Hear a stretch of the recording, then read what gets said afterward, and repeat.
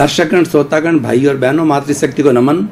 Channel 24 plus news के खास, विशेष, मनमोहक, हमारी चेतना को जगाने वाला, चेतना का उद्वारोहण करने वाला और हमारे मनुष्य जीवन की सार्थकता बताने वाला कि हम मनुष्य भाव के अंदर आए हैं तो मनुष्य जीवन का सार क्या है? हमारे जीवन को किस तरीके से ढालना चाहिए?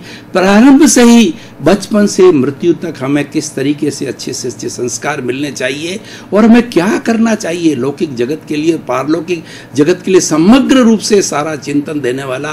पुनरुत्थान कार्यक्रम में आपका हार्दिक स्वागत है, अभिनंदन है, सत्कार है। पुनरुत्थान कार्यक्रम में हम प्रतिदिन नए नए विषयों के साथ प्रवेश करते हैं। हर विषय को होलिस्टिक बनाया जाता है, सांगोपांग बनाया जाता है मल्टी डायरेक्शनल बनाया जाता है और उसके अंदर ऐसी शोध परक सामग्री डाली जाती है कि वो हर वर्ग के व्यक्ति के लिए, चाहे बच्चा हो, चाहे बड़ा हो, चाहे युवा हो, चाहे वृद्ध हो, चाहे महिला हो और किसी भी मेंटल स्टेटस का हो और किसी भी रुचि का हो तो सभी की रुचि का ध्यान रखते हुए एपिसोड के अंदर वैसी वैसी बातों को शोध परक डाला जाता है। तभी एपिसोड तैयार होता है। इसी क्रम के अंदर आज हम एक बहुत सुपर दार्शनिक विषय को लेकर के आपके सामने प्रस्तुत हो रहे हैं। आज का हमारा विषय ज्ञाता दृष्टा भाव भाई और बहनों, दर्शकगण, श्रोतागण, ये विषय मुक्ति का है। जो लोग साधना करना चाहते हैं और इस मनुष्य जीवन का सार निकालना चाहते हैं कि आखिर मैं मनुष्य क्यों बना हूँ? उसके लिए ज्ञाता, दृष्टा, भाव, विषय बहुत सुंदर है। इसलिए इसकी मैं सांगो पांग व्याख्या करना चाहूँगा ताकि व्यक्ति अगर इसको जीवन का जो एक उद्देश्य बना ले, जीवन का एक लक्ष्य बना दे तो शीघ्र मुक्ति की ओर जा सकता है। भाई और बहनों, दर्शक श्रोतागण, हमारी भारतीय संस्कृति में कहा गया है कि चार बातें अति दुर्लभ है। पहली बात यह है कि मनुष्य जीवन का मिलना। दूसरी बात है कि ईश्वर की जो है वो, ईश्वर का जो सिद्धांत है, ईश्वर की जो व्याख्या है, ईश्वर का जो उपदेश है, उसको सुनने का अवसर मिलना। तीसरा ये है कि उस अवसर के प्रति श्रद्धा होना, ईश्वर के प्रति, भगवान के प्रति, आत्मा के प्रति श्रद्धा होना। और चौथा है कि जो कुछ इशार की बातें हैं, वो हमारे जीवन के अंदर ढालना, जिसको कि कंडक्ट बोला जाता है, चारित्र बोला जाता है तो इस तरीके से अगर किसी व्यक्ति को ये चारों बातें मिल जाती है तो उसका व्यक्ति का जीवन धन्य हो जाता है। अब उस धन्यता को हम कैसे प्राप्त करें, उस धन्यता को प्राप्त करने के लिए हमें इस सृष्टि को समझना पड़ेगा। हमें दो बातों का ध्यान रखना पड़ेगा कि सबसे पहले हमें चिंतन करना पड़ेगा, मैं कौन हूँ? दूसरा यह है कि सृष्टि को चलाने वाला कौन है? ये जगत नियंता कौन है? ये सृष्टि कैसे चलती है? जब वो दोनों बातों का हम सांगोपांग अध्ययन कर लेंगे, स्वाध्याय कर लेंगे तो हमारे समझ में आ जाएगा कि हमें जीवन कैसे यापन करना चाहिए। सबसे पहली बात, जब हम प्रश्न अपने आप से करते हैं तो कि मैं कौन हूँ?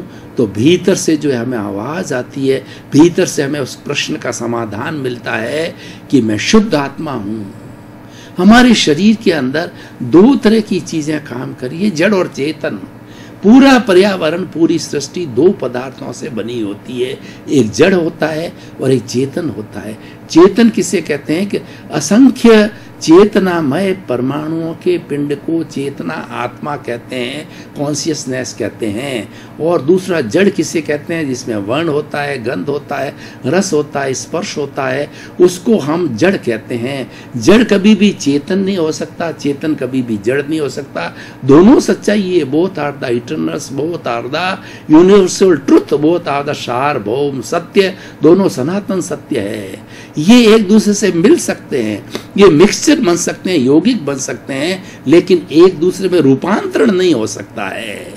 ये सृष्टि का नियम है, क्योंकि दोनों के लक्षण अलग है, दोनों के गुण अलग है, इसीलिए एक हो नहीं सकते। तो ये हमारा जो शरीर है, जड़ और चेतन दोनों का मिश्रण है, और ये जो शरीर बोल रहा है, मैं जो प्रवचन कर रहा हूँ तो इसके अंदर भीतर जो चेतन चेतन की प्रेजेंस है चेतन का सानिध्य है, चेतन की मौजूदगी है, जब ये शरीर भी जो है, वो मिश्र चेतन बन गया, इंद्रियाँ मिश्र चेतन बन गई, आँखें देखने लग गई, कान सुनने लग गए, और ये चमड़ी स्पर्श करने लग गई, जीभ स्वाद लेने लग गई तो इस तरह से पाँच इंद्रियाँ जो है, हमारी कर्मेंद्रियाँ ज्ञानेन्द्रिया है, वो काम करने लग जाती, मन काम करने लग जाता है, व्यक्ति सोचने लग जाता है बुद्धि काम करने लग जाती है, प्रज्ञा काम करने लग जाती है, चित्त है हमारा, वो विक्षिप्त होता है और चित्त जो इधर उधर जाता है, वो वर्किंग स्टेज में आ जाता है, किस लिए स्टेज में आता है, किसमें चेतन की मौजूदगी है, चेतन की हाजिरी है, उसको हम शुद्ध आत्मा भगवान कहते हैं। वो भगवान हमारे भीतर विराजमान है और ये जड़ रूपी जो शरीर है, ये शरीर जो एक मंदिर है तो उस मंदिर के अंदर प्रभु विराजमान है, वो प्रभु हमारा चेतन, हमारी आत्मा, हमारी शुद्ध आत्मा है। इसीलिए इस शरीर को हमें गंदा नहीं करना चाहिए। हम मंदिर में जाते हैं तो अपने जूते बाहर उतार के जाते हैं, विचारों को शुद्ध करके जाते हैं, और किसी तरह के बुरे विचार लेकर के नहीं जाते। भगवान के पास बैठ करके मेडिटेशन करते हैं, और भगवान से हम प्रार्थना करते हैं कि ये भगवान, जैसे आप हो, मुझे वैसा बनाओ। तो ठीक वही भगवान हमारे भीतर है, जिसको कि हम चेतना कहते हैं। तो मैंने बताया ये जड़ और चेतन और ये मन वचन काया रूपी जो इस सोन राज को शरीर मिला है, वो पिछले जन्मों के कर्म के भुगतान के लिए मिला है। और उस भुगतान के अंदर जो हाजिरी है, वह हमारी शुद्ध आत्मा भगवान की है, जो कि अरूपी है। देखिए, कितनी बड़ी विचित्र बात है और कितना एक साइंटिफिक वे है कि जो भीतर बैठा है, वो अरूपी है। लेकिन अरूपी होते हुए भी सारा संचालन कर रहा है। वह मैं हूँ और जो रूपी है, जो दिखाई देता है, वह जड़ है। तो ये बात हो गई कि मैं कौन हूँ? मैं भीतर विराजमान, शुद्ध आत्मा भगवान हूँ। और मेरा लक्षण क्या है? आज का विषय है कि मेरा लक्षण क्या है? मेरा लक्षण है, वो ज्ञाता, दृष्टा। देखिए, हमारी भारतीय संस्कृति में तीन शब्द आते हैं गेय ज्ञाता और दृष्टा। ज्ञेय का मतलब होता है कि देखने की वस्तुएँ। हम इस संसार में जितनी चीज़ें देखते हैं, सब वो देखने की वस्तुएँ हैं। उनको हम ज्ञेय कहते हैं। और ज्ञाता का मतलब हो दृष्टा का मत होता देखना। मैं आपको देख रहा हूँ, ये मेरा दृष्टा भाव है। और उसके बाद के अंदर विशेष जानकारी करना, कि उस व्यक्ति के बारे में ध्यान करना, कि वो किस तरह का व्यक्ति, ये दृष्टा भाव है। तो हमारी जो भीतर विराजमान शुद्ध आत्मा भगवान है, उसके दो ही लक्षण हैं, ज्ञाता, दृष्टा, भाव। वह जानने वाला है, वह देखने वाला उसका और कोई काम नहीं, वह क्रिया है। जिसके शरीर नहीं है, वो क्या क्रिया करेगा? वो अक्रिया है, लेकिन अक्रिया होते इस विश्व का सबसे पावरफुल जो है, वो आत्मा है। एक आत्मा पूरे विश्व की चौरासी लाख जीवा योनि की आत्माओं को पहचान लेती है, और जब जब एब्सोल्यूट नॉलेज होता है, केवल ज्ञान हो जाता है तो उसे केवल ज्ञानी आत्मा से संसार की, कोई भूत की, भविष्य की, वर्तमान की, और दूसरा जड़ की, चेतन की, किसी भी अवस्था की एक ही आत्मा को केवल ज्ञानी आत्मा को किसी भी चीज़ से उसे छुपी नहीं रहती है। वो एब्सोल्यूट ट्रुथ जानने लग जाता है। इतनी पावरफुल होती है। और ऐसा कहा गया हमारी संस्कृति के धार्मिक ग्रंथों के अंदर, जे एगे जाने, ते सब्बे जाने। जे सब्बे जाने, से एगे जाने। जिसने एक आत्म तत्व को जान लिया, उसने पूरे ब्रह्मांड को जान लिया। देखिए, हम सारे ब्रह्मांड को जानना चाहते हैं, अनुभव में लाना चाहते हैं, और वो अनुभव में आ सकता है, क्योंकि हमारा जो भीतर विराजमान ये ज्ञाता, दृष्टा जो शुद्ध आत्मा, उसके गुण क्या है? वो अनंत ज्ञान वाला है। उसका ज्ञान अनलिमिटेड है, क्योंकि वह अनलिमिटेड वस्तुओं को देखता है। हम जो अपनी आँखों से एक दिन के अंदर या जीवन के अंदर अनलिमिटेड वस्तुओं को देखकर उसके अनुसार, उसके अनुरूप वो आत्मा ढल जाता है। जैसे कि आम को देखा तो आम जैसा बन गया, नारियल को देखा तो नारियल जैसा बन गया, स्त्री को देखा तो स्त्री का आकार के अंदर क्या मनुष्य को देखा मनुष्य के आकार में हो गया। इन सब अवस्थाओं के अंदर रहता हुआ भी मेरा जो शुद्ध आत्मा भगवान में विशुद्ध है, क्योंकि वो उसे चिपकता नहीं है। वह उससे जुड़ता नहीं है, उसका मात्र जो है, वो ज्ञाता दृष्टा भाव है। चिपकने के लिए जड़ चाहिए। वो जड़ नहीं है, वह चेतन तत्व है, उसका तो सिर्फ़ एक ही काम है, जानना और देखना। कितनी सुंदर बात है कि देखिए, हम भेद विज्ञान कहते हैं, इसको मोक्ष विज्ञान कहा जा सकता है कि हम सेपरेशन करें। हम अलग अलग करें कि हम इस शरीर के अंदर जड़ और चेतन दो रह रहे हैं, वो दोनों अलग हैं। ये सोहन राज जो मेरा नाम है, ये सोहन राज को जो शरीर मिला है, ये जड़ है, लेकिन इसके भीतर जो संचालन करने वाला है, वह चेतन है। दोनों अलग अलग है और दोनों को अलग मानना है और ये पूरे जीवन भर की फ़िल्म चल रही है। मनुष्य का जो है, जन्म से लगा के, मृत्यु तक के बीच का जो जीवन काल होता है, मान लीजिए अस्सी वर्ष की उम्र या साठ वर्ष की उम्र है तो ये साठ वर्ष की फ़िल्म हम थिएटर में जाते हैं, तीन घंटे की फ़िल्म देखते हैं, दो घंटे की फ़िल्म देते हैं तो फ़िल्म अलग है और हम अलग हैं। यानी वो ज्ञाता दृष्टा भाव है। हम तो फ़िल्म को देख रहे हैं तो हमारा दृष्टा भाव है और एक्टर, एक्ट्रेस और जो घटनाएँ घटित हो रही है, उसको देख रहे हैं, वो दृष्टा भाव है। वह ज्ञाता भाव है। जान रहे हैं कि हीरो है, हीरोइन है, ये एक्टिविटी कर रहा है, ये वहाँ जा रहा है।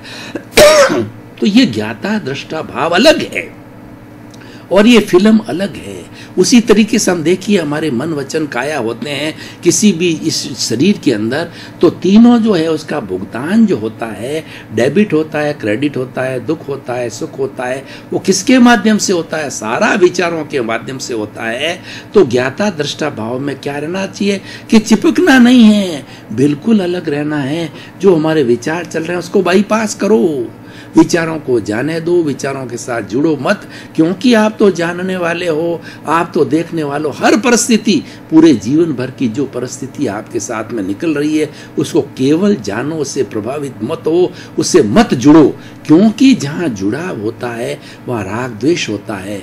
हम व्यक्ति जो है, अगर हम सड़क पर जा रहे हैं, बहुत से लोग चल रहे हैं, वहाँ से चल रहे हैं, पैदल से चल रहे हैं, और हम एक दूसरे से बात नहीं करते हैं हम ट्रेन में बैठे हैं, हम एक दूसरे से बात नहीं करें, हम अपने काम में व्यस्त, अगले वाला, अगले काम में व्यस्त। तो जुड़ाव नहीं होता है।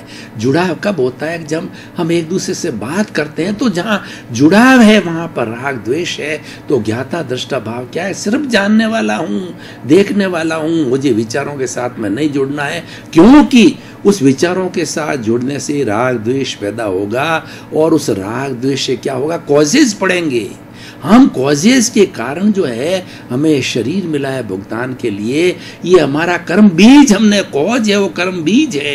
पिछले जन्मों के अंदर कर्म बीज डाल के आए हैं तो वो कर्म बीज है, वो आज कर्म फल के रूप में शरीर मिला है, और सत्तर अस्सी वर्ष जो है कर्म फल मिलता रहेगा, और उस कर्म फल के परिणाम के रूप में हमको सुख दुख की अनुभव होगी, जो कि हर एक व्यक्ति करता है, शरीर में दर्द होता है, कभी जो है संतान की तकलीफ़ होती है, कभी पैसे की कमी आ जाती है, कभी भूख लगती है, प्यास लगती है, बीमारी आती है, ये सारी चीज़ें जीवन में हर व्यक्ति के दो है, प्रतिष्ठा होती है, मान होती है, हानि होती है, जीवन में उतार चढ़ाव उतार चढ़ाव धूप छाव की तरह हमारे चलते रहते लेकिन उन सब स्थितियों के अंदर मैं तो ज्ञाता दृष्टा हूँ। आज का जो मेरा विषय है, वो है ज्ञाता दृष्टा भाव और ज्ञाता दृष्टा भाव जो है, ये हमारी आत्मा के लिए जो भीतर विराजमान है, सबको संचालित, हर जीवित प्राणी को भीतर विराजमान, शुद्ध आत्मा भगवान संचालित करता क्योंकि जड़ में तो होता ही नहीं है।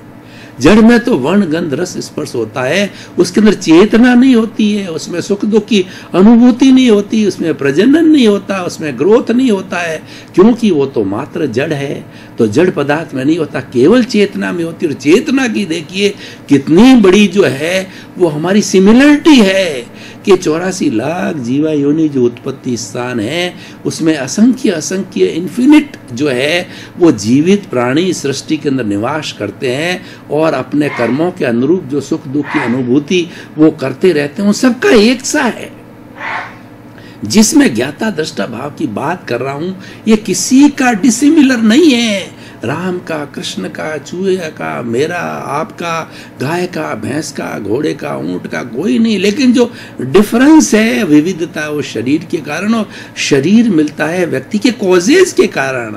जहाँ हर कारण कारण के पीछे कार्य जुड़ा रहता हमने कॉज डाल दिया, कारण खड़ा कर दिया तो इस जन्म के अंदर हमको कार्य मिलेगा और कार्य रूप में शरीर मिलता है। तो ये कॉज एंड इफ़ेक्ट का, ये शरीर है इफ़ेक्ट है। ये कॉज एंड इफ़ेक्ट का जो सार्वभौम सिद्धांत है, ये चलता रहता है तो मैं बात कर रहा था, ज्ञाता दृष्टा भाव की, मैं इस एपिसोड से क्या कहना चाहता हूँ? हमारे दार्शनिक बंधुओं को और सुपर साधना करने वाले हैं, जो गीता के अंदर निष्काम कर्म की बात को समझने वाले हैं, जीवन को धन्य बनाना चाहते हैं, इस मानव जीवन से मुक्ति की ओर जाना चाहते हैं तो ये विषय उनके लिए इतना सुंदर विषय है कि आप जीवन पर ज्ञाता दृष्टा भाव रखो। जो भी परिस्थिति आ रही है, उस परिस्थिति के साथ जुड़ो मत, क्योंकि वह परिस्थिति आपने क्रिएट की है।